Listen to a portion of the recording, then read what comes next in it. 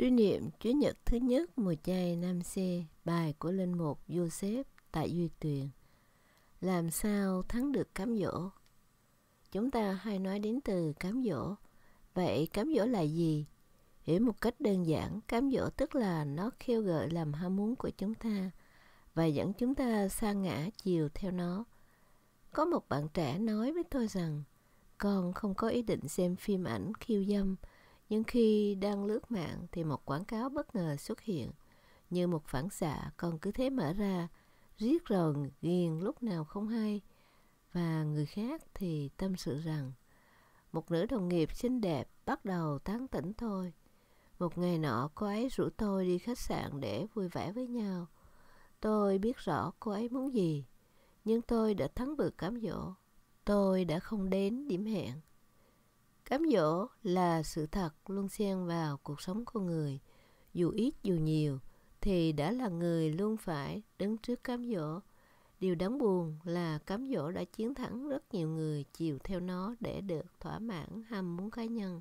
Gần đây nhất là vụ cô gái giao gà chiều 30 Tết bị năm người đàn ông đã bắt giữ 3 ngày để hiếp dâm và giết chết. Họ là những người đã không chiến thắng được sắc dục để rồi chỉ tìm thỏa mãn thú tánh mà làm những chuyện không còn là một con người. Đúng như người xưa vẫn nói, người chết vì tiền, chim chết vì mồi. Tất cả đều là vì lòng tham gây họa, vì dục vọng mà làm những chuyện đê hèn còn thua loài súc sinh. Có người hơn loài vật là biết thiện và ác, và nhất là có đủ lý trí để suy xét và ý chí để chế ngự bản thân.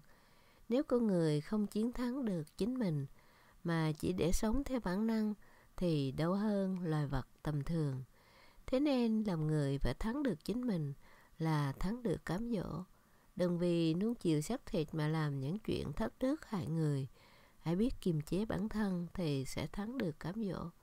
Hôm nay Chúa Giêsu cho ta phương thế thắng được cám dỗ chính là đặt Chúa và lề luật làm trung tâm đời sống chúng ta. Phúc âm kể rằng ma quỷ đã đến cám dỗ Chúa Giêsu. Nó cám dỗ Chúa Giêsu vì nó biết Chúa Giêsu sau 40 ngày nhịn ăn nên rất đói, rất cần đến nhu cầu ăn uống. Nó đã khơi dậy nơi Chúa sự quay lưng lại với Chúa Cha để được thỏa mãn cái bụng của mình. Nó hướng mở cho Chúa một tương lai đầy hứa hẹn, không chỉ có của ăn dư đầy từ những hòn đất hòn đá, cũng biến thành của ăn. Từ sỏi đá cũng thành cơm, mà vượt xa hơn nữa là nắm gọn trong tay cả và dân thiên hạ. Có kẻ hầu người hạ, có cơ hội hưởng dùng mọi vinh hoa phú quý trần gian. Năm xưa trong vườn địa đàng nó đã thắng ông bà nguyên tổ khi nó đưa ra những lời dụ dỗ đầy ngọt ngào, đầy hấp dẫn này. Nhưng hôm nay, màn trình diễn này đã hoàn toàn thất bại bởi người con duy nhất của Thiên Chúa là Đức Giêsu.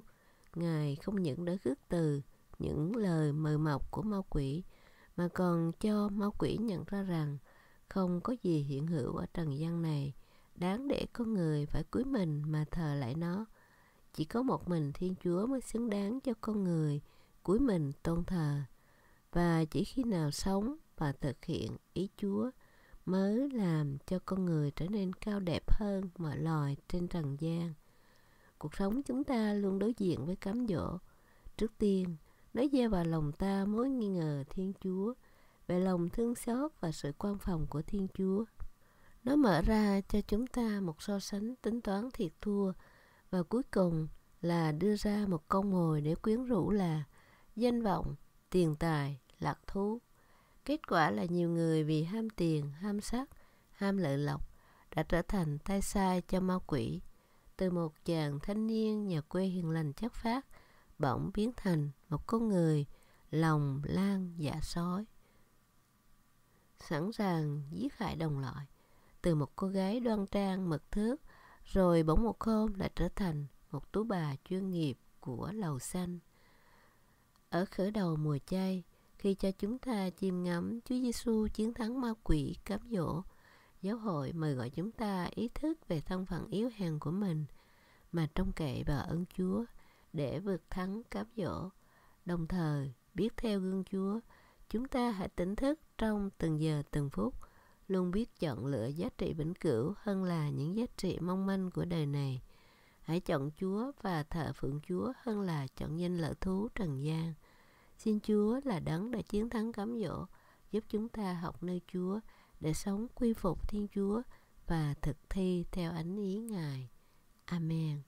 Bài của Linh Mục Joseph Tạ Duy Tuyền